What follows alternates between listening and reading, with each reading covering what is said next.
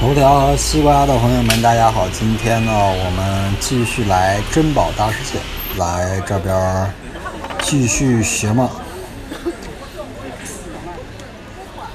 今天呢是周一，嗯，天气不是很好，嗯，有点阴，嗯，出摊的人也不是很多。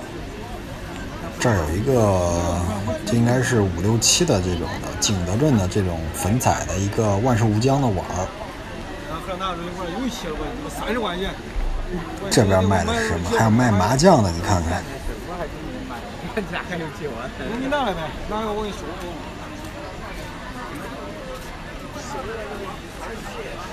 这个逛地摊儿啊，其实很有意思啊。为什么呢？其实还是因为他每一次呢，他那个给你带来不同的惊喜，因为他有很多不确定性。呃，你也不知道你下个摊位能遇到什么，所以说这也是逛地摊的一个魅力吧。嗯，有的人呢，确实，啊，在这种地摊这种地方呢，原来我记得有个人在这种地方能淘到很不错的东西，然后，呃，后来出手卖了很多钱。嗯，不能说这种情况不存在。但这种情况呢，这种几率啊，还是真的是非常少的。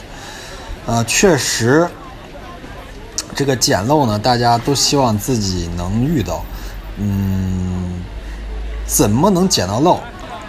呃，你捡到漏的这种，呃，买的这些东西，是不是真的？也就是说，将来能，呃，能卖出去？啊，这也是一个过程。啊，并不是说我们捡到一件东西，呃，可能说它很珍贵，但是它从你买完了以后到变现，这也是一个很复杂的一个过程。所以说呢，其实捡漏的意义呢，其实在于你将把这件东西卖出去，然后以后产生的这个价值，这才是真正的捡漏。你不是说你买到一件东西，呃，是捡漏。你比如我在市场上买一件盘子。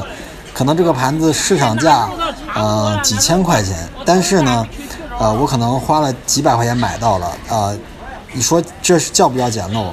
啊，但是你因为你几百块钱买完这件东西了以后，你并没有把它真正的去变现，就是变到它真正你理想当中那个价位，所以说呢，它还不算是捡漏，只能说是你是一次。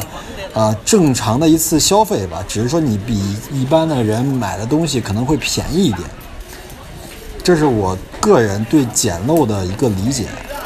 啊，如果有不同的意见呢，其实大家可以在下方给我留言，我们共同探讨一下。